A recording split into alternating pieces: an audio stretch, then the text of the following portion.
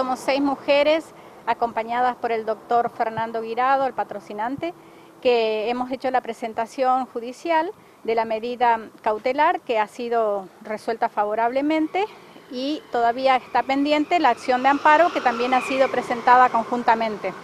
Y estamos pidiendo a la justicia la protección de los derechos que han sido vulnerados de los más indefensos, en este caso de los niños por nacer. Entendemos que eh, la ley sancionada viola flagrantemente la Constitución Nacional, los tratados internacionales y además eh, avasalla sobre las autonomías provinciales. ¿no? En un régimen federal de gobierno, una república funciona con el funcionamiento de los tres poderes. ¿no?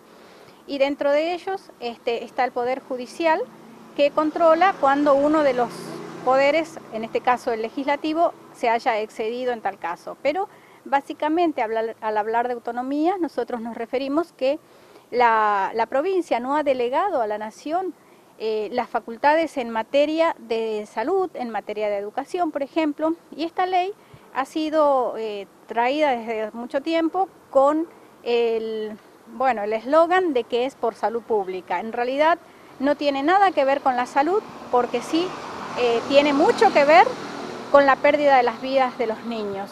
Entonces, entendemos nosotros, por eso mismo hemos actuado y trabajamos en esta presentación para eh, proteger el derecho de aquel que ha sido vulnerado básicamente en el derecho a la vida. Este fallo judicial lo que hace es suspender la ley 27.610 que es la ley de legalización del aborto en la nación, suspende en la provincia, eh, obvio que se suspende hasta tanto se resuelva qué, sucede con la acción principal, que es la acción de amparo. Es decir, que por el momento, por estos días, hasta que esto no se resuelva, quedan eh, momentáneamente suspendidos los abortos. Sí, a partir de la notificación al Poder Ejecutivo, que entiendo se habría realizado hoy, queda suspendida en la provincia. ¿Tienen conocimiento si el Poder Ejecutivo va obviamente a apelar esto, si alguien les comunicó algo?